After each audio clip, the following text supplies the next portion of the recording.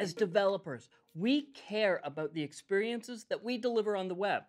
We've put a lot of time and effort into our current projects, and building a progressive web app doesn't necessarily mean that we need to start from scratch.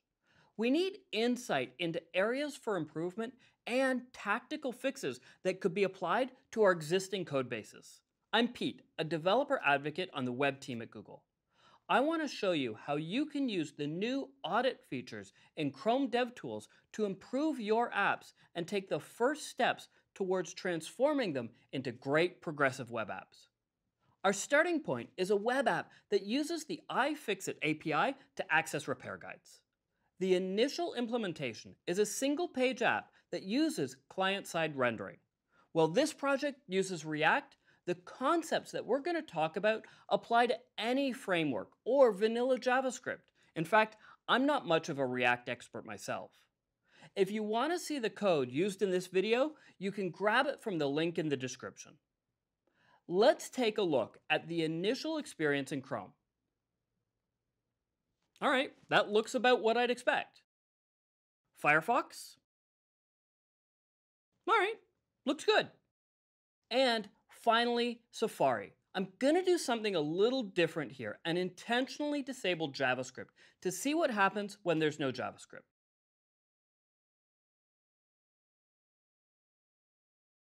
There's no content.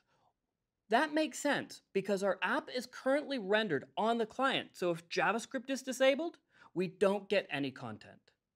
So now that we have a feel for what the app does, let's try and figure out how we can improve the current implementation. We're going to use the new audit panel in Chrome DevTools, formerly called Lighthouse, which will run our app through a series of tests covering important areas for progressive web apps. The same tests are also available as a command line tool or a node module that you can add as part of your integration tests. We'll run it now to establish a baseline and it'll give us an idea of what's working well and what we can improve. Let's see it in action. I'll pop over to the audit panel and start my tests. The audit reloads the page several times, capturing traces on each load so it can analyze how long each load took, when it became interactive, what happens when there's no network, and so forth. It usually takes about 60 seconds to test my app served from my local device. While Lighthouse will identify areas for improvement, it's not the end destination. You shouldn't spend all your time trying to get a perfect score.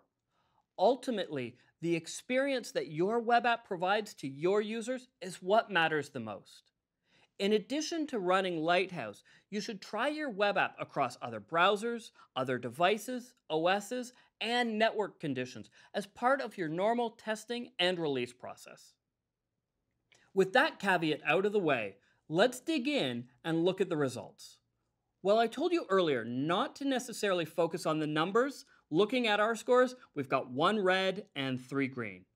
There's a lot I can do to improve my progressive web app score, and I think I can get the other numbers up too. My goal is to make sure that all of the scores are green, and I'm going to aim for a score of 90 or better. There are a lot of failed audits here, which explains our low score. There's no service worker and it doesn't work when offline. There's no content when JavaScript is disabled. And we haven't done anything to make the app work well on the device, like adding a manifest and setting the meta theme color. We did have four tests pass. Well, really only three. Since we're running on localhost, the uses HTTPS is a freebie. The page loaded is fast on 3G, We've set the correct meta viewport and sized everything correctly to fit. The results also include some recommendations on manual tests that we should run, things that it's not able to verify itself. In terms of performance, it's good, but I think we can do better. The big thing I'm seeing here is that our first meaningful paint happens at 3,700 milliseconds, and our speed index is almost 4,500. By the way, if you're not familiar with some of these terms, you can click on the test results for an explanation of what they mean and how you can make them better. In opportunities, it gives us a few suggestions on things that we could do to improve our performance, like enabling text compression, reducing some of our render blocking styles, and dealing with some of the off-screen images. We can also check our critical request chain size. In this case, it's only three. We're probably okay. I could hyper optimize this, but there are more important things to deal with. We've done well on our accessibility checks, and there are a few things here that we could change, but again, since it's already over 90, I'm gonna call it good. We're doing well on our best practices. Again, it's green. We could try and get these numbers up, but our priorities should be on the other scores that have more room for improvement. Let's look into server-side rendering. Server-side rendering means that the browser gets a fully populated and functional page in the initial HTTP response, rather than having to rely on multiple requests to get the content on screen. Equally important, it means that our web app will work on browsers that don't fully support JavaScript or when it's been disabled. And if we accidentally ship some bad code, it won't completely break our experience.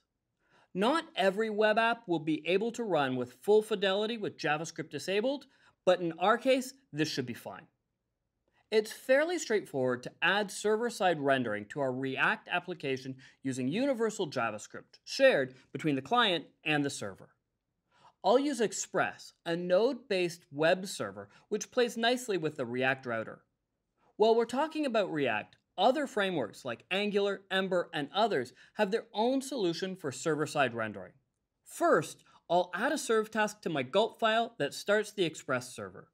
Then, create the server using Express, React, and a few other components that I'll need for the server. And I need to update my index file to import the React content. So now that we have the server-side rendering in place, let's try it out in Chrome and Safari to see if it had the desired effect. I don't expect anything to change here. Chrome shows the server rendered version and it looks exactly the same as it did before. And how about Safari? Remember, JavaScript is disabled here. This time it works because the content is rendered on the server and JavaScript isn't required. Let's see how adding server-side rendering affects our score. I'll open DevTools and start the audit. This takes about 60 seconds, so with a little bit of video magic, we're done. Adding server-side rendering to our app affected both our progressive web app score and our performance score. Our progressive web app score jumped from 36 to 45, and our performance score went from 79 to 91. Since we only added server-side rendering, I wouldn't expect much to have changed here. But still, we have a lot of failed audits, but the key thing is we now have content when JavaScript isn't available. Let's look at why we got that jump in performance. The biggest thing that changed is our time to first meaningful paint dropped to 860 milliseconds. And the speed index dropped from almost 4,500 to 2,000. Our opportunities to improve performance have also now changed. It looks like we could save some time if we used lazy loading to postpone some of the off-screen images. We'll save that for a rainy day. Let's add a service worker to make it work instantly and reliably, even when the network isn't. First, an important reminder. We need to treat service workers as a progressive enhancement. Not all browsers support service workers yet, so we don't want to degrade the experience there. And even on browsers that do support service workers, the very first time you visit a page, they won't have the service worker installed yet. We're going to adopt the app shell plus dynamic content model, which works really well with single page apps. The shell, our HTML, JavaScript, and CSS, is loaded directly from the cache on the local device, bypassing the network. Taking the network out of the critical path is the surest way to get reliable, fast performance. We can then use runtime caching to handle requests for our dynamic content from the iFixit API. Under the hood, I'm using a tool called SW Precache, which will generate the service worker and implement the caching strategies for me. SW Precache is an early version of Workbox.js. It doesn't have all the flexibility and power that Workbox has, but it'll get the job done for today. First, we need to import SW precache into our gulp build script. Then, create a new gulp task that will generate the service worker to cache our files. And finally, we need to register the service worker. Now that we have the service worker in place, let's run the audit again and confirm that it had the intended effect. A little bit more video magic, and sweet. By adding the service worker that pre-caches our content, our progressive web app score went up by almost 20 points, from 45 to 64. We had a 5 point jump in our performance score as well. We've improved the reliability of our app by adding a service worker. Our app will now respond instantly and reliably, no matter what network conditions exist. Adding a service worker also helped to improve our perceptual speed index from just over 2000 down to 1289. After you've added a service worker, it's always a good idea to pop over to the network panel and take a look at all of the network requests to ensure that your service worker is handling all of the requests that it's supposed to. All right, that looks good. And I love those super short response times. While we're in DevTools, let's take a detour to another panel that's super important, the application panel. This is the central location for debugging everything related to your service worker. We can confirm that the new service worker is running without any errors. Here, we can force it to update, simulate an incoming push message, simulate a sync event, and unregister it. We can also use the various checkboxes at the top of the page to automate common debugging tasks. The offline checkbox lets simulate a network failure so we can confirm how our service worker behaves when there's no network. Update on reload ensures that when we make changes to our service worker during development, refreshing the page will always put the new code in effect right away. And finally, bypass for network skips the service worker's fetch handler, which disables the cache and forces all network requests to go straight to the network. All right, let's address the missing application metadata. This metadata controls how your web app looks and behaves when it's been added to the home screen. Remember that manifest that we talked about in a previous video? Well, we need one of those. But we also want to provide a great experience on Safari for iOS. To ensure that we provide the largest range of browsers, we'll need to add the metadata using the web app manifest and the equivalent meta tags. Let's take a look. You can see that we've added a 512 by 512 pixel icon. If you're only going to add one size, make sure it's at least 512 by 512. Here's the manifest that we talked about earlier. We've added icons using the link tags to give Safari the information that it needs. We've added a link tag that points to the manifest, set the theme color, and added a meta Apple mobile web app capable true to tell Safari on iOS that it can start in full screen. Let's test the home screen bookmark behavior on iOS Safari using the iOS emulator. Yeah, that looks good. So now that we have a service worker, a manifest, and everything in place, Let's run the audit again and confirm that it had the intended effect. All right.